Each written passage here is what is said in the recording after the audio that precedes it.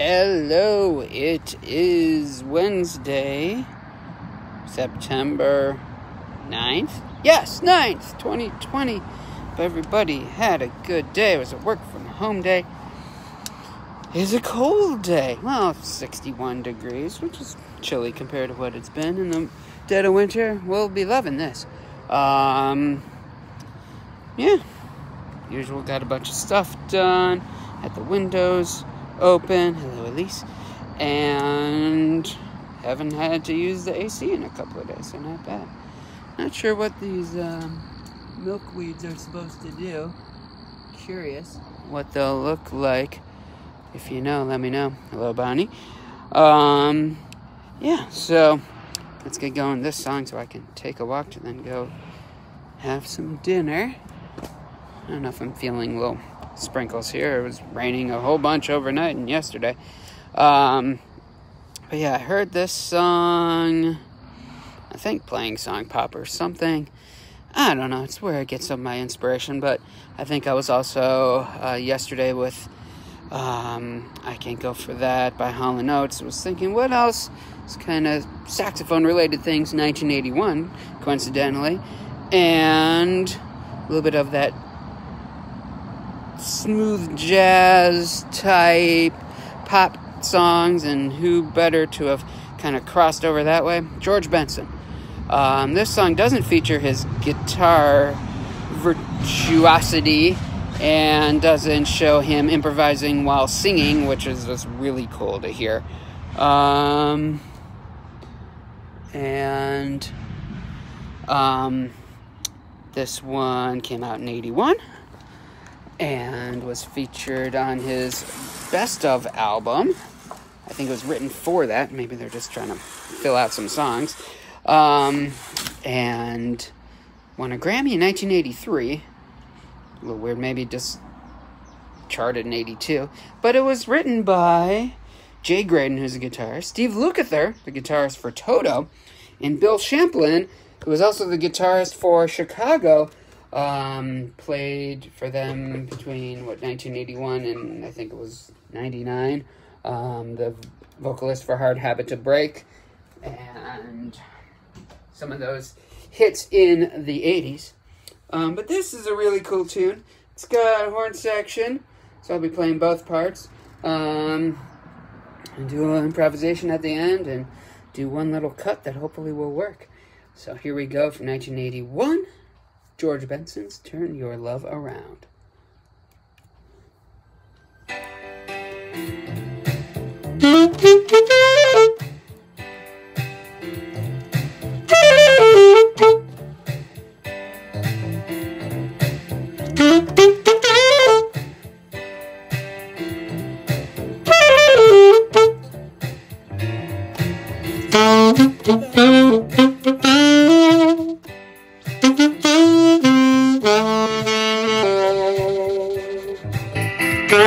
Thank you.